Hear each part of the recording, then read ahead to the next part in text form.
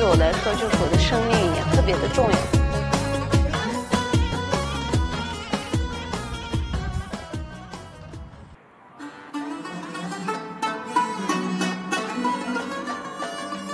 我叫美特尔阿伊巴托尔，今年三十二岁，出生在色勒县，在和田县文工团工作，毕业于新疆艺术学院，我的专业是舞蹈。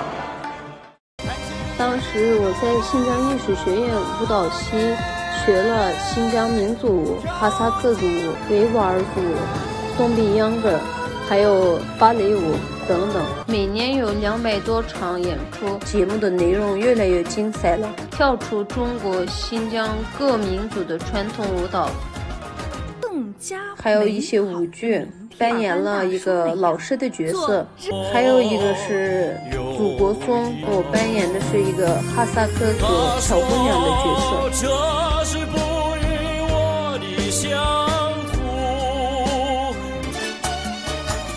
第一次网络大赛，我们就是以画视频，我们拿到了全国十强，然后我们就荣得了这个去北京参加全国第六届电视舞蹈大赛的那个总决赛。我们开始训练，重新编排了别的舞蹈。二零二二年的一月份，我们就去了北京，参加了第六届中外电视舞蹈大赛全国总决赛，拿到了特等奖，真的自己是很骄傲。我从小就喜欢跳舞，因为我父母、我奶奶都会弹独踏，就跟着那个节奏乱跳。小学一毕业以后，我就参加了新疆艺术学院的舞蹈生的那个考试，第一次没考上，然后第二年我考上艺术学院以后，父母支持我上，然后上了五年。学舞蹈是一个特别艰苦的一个事儿，我也有受伤过的经历。二年级时候，我们有一个弹击课，打翻跟头的那个，因为两个手臂的力量不够，翻跟头的时候自己的身体自己没撑住，两个肩膀直接脱臼了。现在姐的位置比较偏高一点。一年的三百六十五天，我几乎每天给父母打电话，我要退学。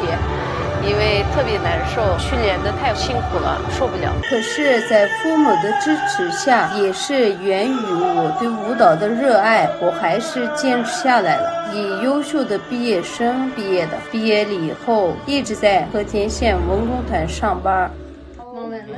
我现在有了家庭，有两个孩子，老大从现在开始特别喜欢跳舞，他想学拉丁舞呀、那样舞、这样舞。这一次暑假班，我也给他报了舞蹈班，他也认真的学。他从小就特别聪明，他那么小都爱化妆。他小时候就看着镜子摆动作，我就想到，哎呀，小时候就是这个样子。他怎么跟我学的一模一样？如果他长大以后学的这个舞蹈专业，我会支持。可是我先不会跟他说，很苦，你要继续坚持，不能半路放弃。之前也是驻村了三年，回到单位两年。这次回去驻村，我主要负责群众工作和疫情工作，解决村民的困难诉求，化解他们之间的矛盾之类的。现在村民的生活条件越来越好，他们的诉求也没那么多。现在那个村子里面的小朋友到村委会找我那样子拍节目，感觉看到了我自己的小时候一样。